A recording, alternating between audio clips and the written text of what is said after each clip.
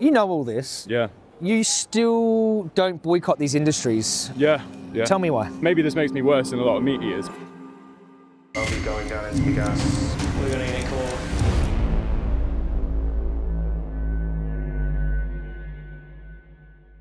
Do you eat pork products? Yeah, I do. I've definitely tried to cut my meat intake recently. And my reasons for eating meat are more like a failure of motivation. I think it's impossible to like defend eating meat morally. I just think you could never justify killing an animal just because it tastes good. And maybe this makes me worse than a lot of meat eaters because I believe eating meat's really bad, but I still do it. Do you know anything about pigs? Not a huge amount, about Tom- as much as the next person. Do you think they're smart? I, I don't know, but to be honest, I don't even think that should come into the question of whether we're allowed to eat them. I think Okay. even if they're really stupid, I don't, I don't think you could ever justify eat, eating something because it's not smart. Like, I Okay. think that makes no sense. I think you could say like, if you had a human who's like brain capacity was completely finished, like you wouldn't be like, oh well, you eat him then. You eat meat, and you said you're you are conflicted, but if you were to see like free range on a label, say it's RSPCA assured, free range, organic, all the you know, you look at the label, there's like a happy pig on there, green grass. Yeah, yeah, Let's just say I called it happy bacon. yeah. Would that would that influence your decision? No. And even if you were to convincingly tell me that the pig had, instead of being stuck in a really confined space, had wandered around a big field its whole life and been relatively happy, I still, I think that only makes a marginal difference in whether it's okay to eat it. I think you're still making that choice for the pig. You're still, I don't know. I just think it's the general principle of just killing an animal just because it tastes good. And I think in today's world, that is what it is. Like, we don't need to kill animals like to survive. Um, so the fact that it's free range maybe makes a marginal difference, but yeah, not not much of one. I still would always buy free range meat, but don't think it makes it that much better. Okay. And uh, do you know about gas chambers? Uh, yeah, vaguely. Is there's that happened for pigs as well? I knew that happened for chickens, I think. But Yeah, you're right. yeah, yeah, yeah. What do you think the experience is like for the pigs? Do you think it's what kind of gas do you think Well, they would I'm use? imagining like concentration camp gas chambers. To be fair, um, Say the RSPCA assure these gas chambers actually with the meat that they put their logos on. well, Um, what kind of experience do you think the pigs have in the gas? I assume a very painful one and stressful end, end of life.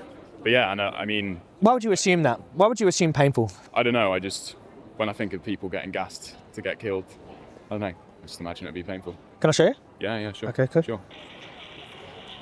Yeah, it's horrible.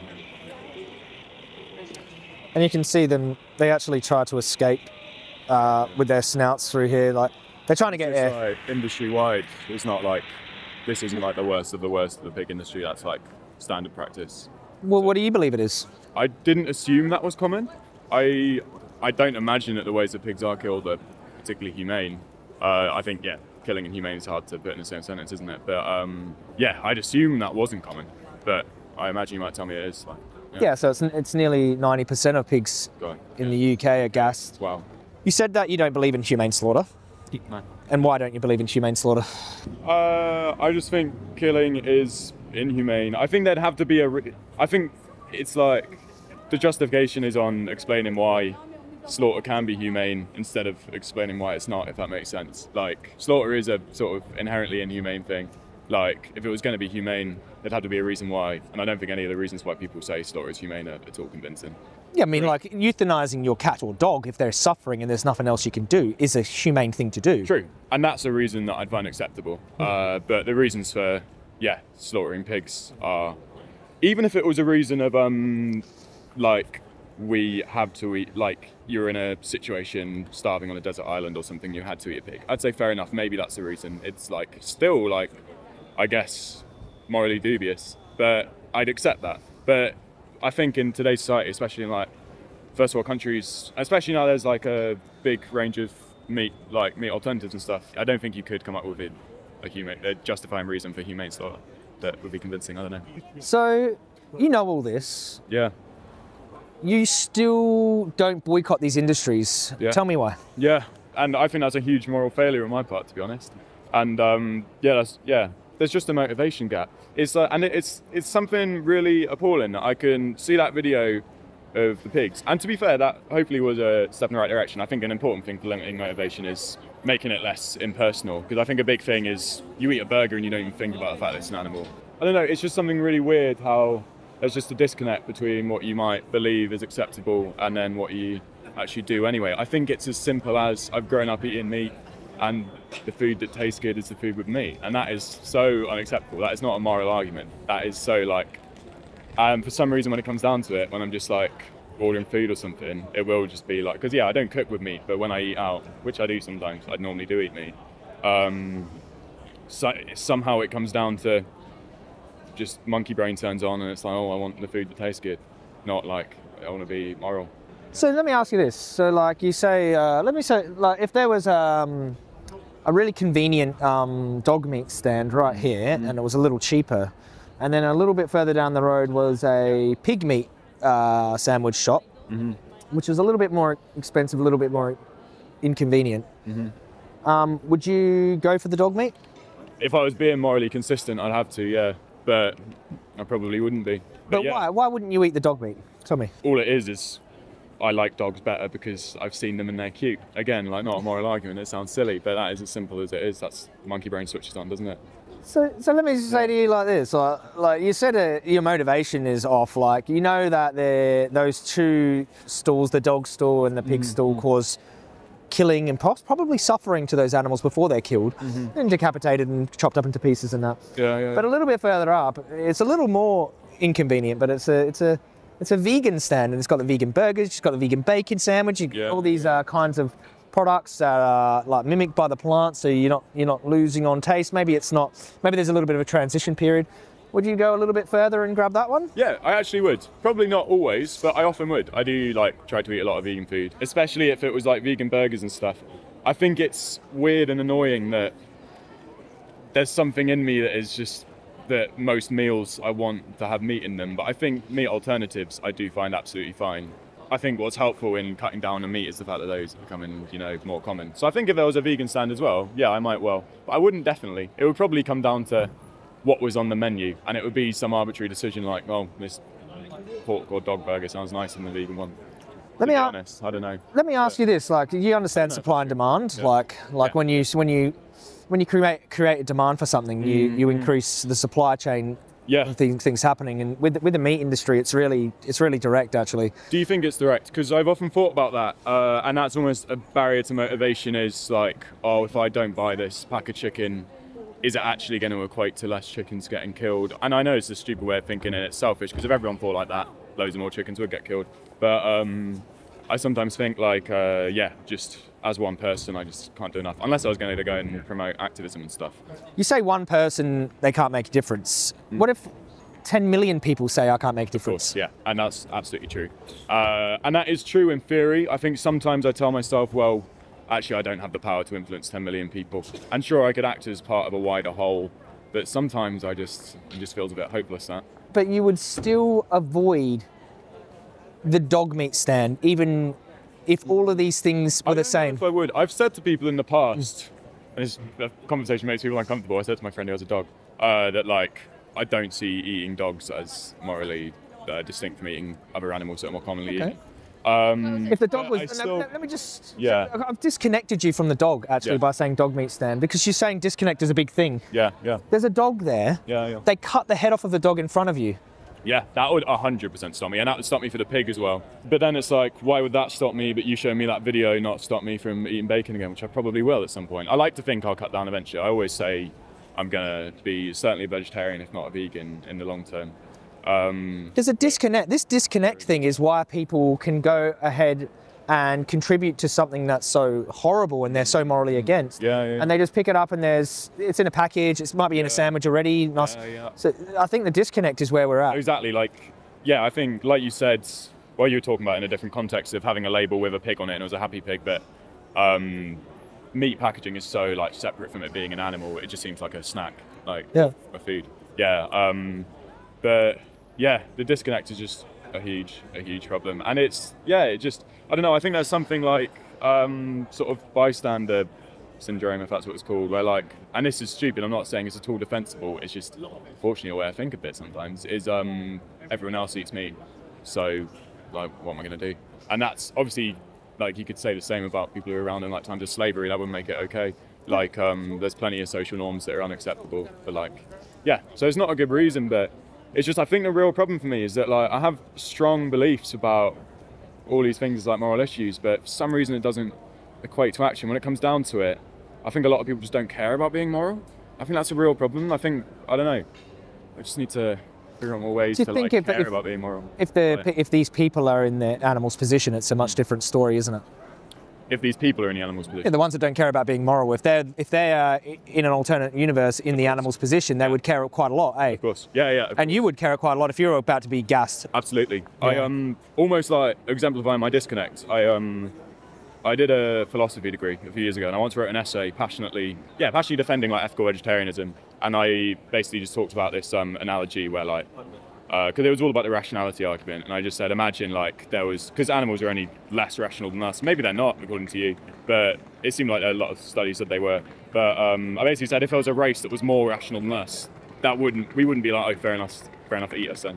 Does that make Oh yeah, yeah. So I've basically, I've what you're saying, no, no, you're basically saying if there was a if there was an alien race Yeah.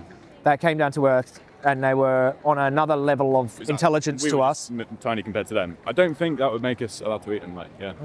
Sorry, them allowed to eat us. Yeah, like let's just say you, you bridge that gap the same distance from us two pigs or chickens to these alien race and us. Mm-hmm. Yeah. And they use the same justifications to raise and kill us Yeah, for yeah. food. And uh, that wouldn't be. Uh, then yeah, I think that message could actually weirdly get to people because then you think, as a human, you know that you have feelings and stuff.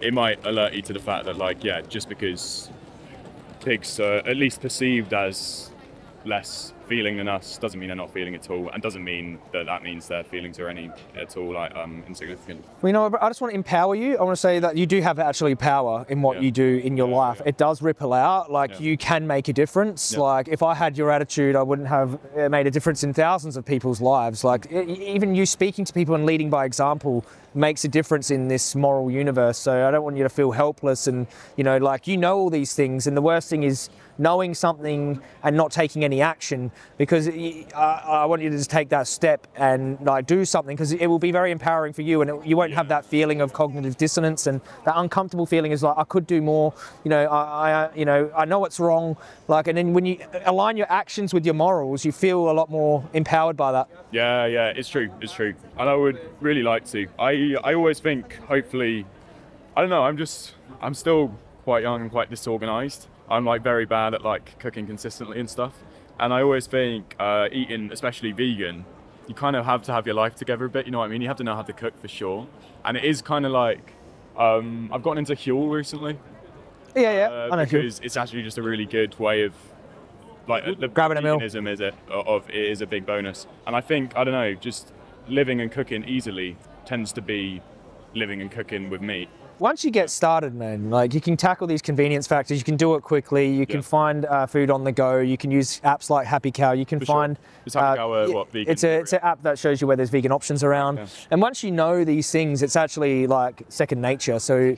You, I, don't, I do it without thinking now. Like it's not an inconvenience Nice, to us at all to, that- to eat like this. And and yeah i really think like all the things i've just said are like i fully accept that they're like not just justific No, no, I know. I don't, I've never got that vibe that you're trying to justify anything. Yeah. You're very honest about these things. Yeah. But you know, this this indifference, this disconnect and indifference, Mm. and this is why atrocities can happen agreed yeah. because people stand by, they do nothing, they allow it to happen. yeah yeah yeah And all atrocities are like this when you have, you know, the masses just turning a blind eye and allowing it to, and the, the world will never change like that. And I just think if we were, as soon as we're on the receiving end of being victimized, we understand what it's like. But from the oppressor or from the disconnected person just walking through life's point of view, it doesn't matter to them, so why get involved, you know? But I, I've never been like that myself. nice And um, you know all the right things, but I just take some action and align yourself, for nothing. Yeah, I was. Yeah, I was interested to ask, like, have you ever experienced like that lack of motivation, that disconnect? Originally, like when you first got into. Ah, well, dude, I was uh, actually a gang member. I was on drugs. I was uh, doing nothing to help anyone. I was actually Yeah. harming people, and I didn't care too much about animals. I did if I seen some overt cruelty, I would Yeah. jump in. But Yeah, yeah, yeah. yeah, no, I mean, I mean, uh, at 20, from 20 till 27, I was, you know, running through life as a, you know, from my whole life actually until the last 10 years. I've been a vegan and I've been an activist and I've been making changes and been helping people making the connection. So Yeah. I'm not perfect and I never have been. I've actually been probably a lot more of a menace than you have. But I learned that violence is not the answer, and I learned that I learned it from being a both a victim and an and a victimizer Yeah. in the gang world and things like this. Uh, what it's like on both ends of the like spectrum, and like I feel like animals are so innocent; they did nothing wrong to anyone. 100%. We're only doing it to eat them. We're not doing it to like save humanity or something like Mm. Yeah, this. yeah, yeah. It's a, it's one of the greatest moral crimes of humanity. Yeah, actually. yeah. Agreed, agreed. But yeah, I think a barrier to motivation sometimes is like it's just such a cultural thing, and sometimes it feels like, yeah, I guess I'm just repeating what I said before, but because it needs to change on like a cultural level, you do sometimes feel powerless to change it on an individual level. But yeah, like to change it on a cultural level, you just need loads of people changing as individuals, don't you? So You can influence culture. yeah, yeah, for sure. Individuals have influenced culture before Yeah, true. true. in history. Like this has happened. Yeah, Small yeah. groups of people can change the world. Yeah, yeah, yeah. Like we have evidence for that in Yeah. history. So don't feel helpless. Like you could be part of something really big and be part of change. And Nice. you know, and yeah, you never know. Yeah, yeah. And I, I, I know. I sometimes think there's like a whole, like I like to think that I'll be a vegetarian if not a vegan at some point. But I think there's a whole segment of society that just doesn't care at all. So like I do worry that like I sometimes think like that changed the culture. Even if you change like all the people who might change their minds, I still just genuinely think like so many people, at least in the UK, um, it seems like they just never would. You can change laws like that though. Yeah, I guess. Yeah. And once laws are in place, then animals have rights, and you can stop these things from happening. Yeah, for sure. Once they're Just- protected properly. Yeah, yeah, yeah. It just seems so far off with like Tories now. But yeah, but yeah, could happen one day. True. Yeah. I'm not going to argue with you there, bro. Yeah, yeah. Cheers, brother. Interesting chatting to you. Thank you. Thank you so much. Nah. Appreciate that. Take care Yeah, you too. and look up the Happy Cow app. yeah, we'll do, we'll do. No worries, brother. See you, mate.